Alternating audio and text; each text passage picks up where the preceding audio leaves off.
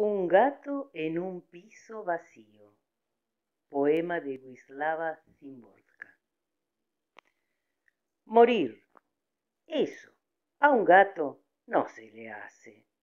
Porque, ¿qué puede hacer un gato en un piso vacío?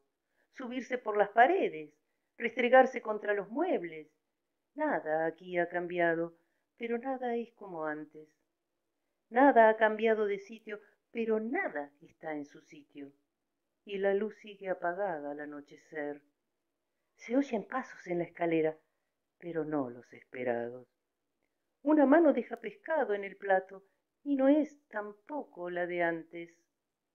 Algo no empieza a la hora de siempre, algo no sucede según lo establecido.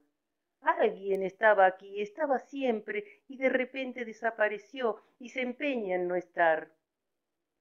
Ha buscado ya en los armarios, se han recorrido los estantes, se ha comprobado bajo la alfombra, incluso se ha roto la veda de esparcir papeles. ¿Qué más se puede hacer? Dormir y esperar. Ay, cuando él regrese, ay, cuando aparezca, se enterará de que esas no son maneras de tratar a un gato.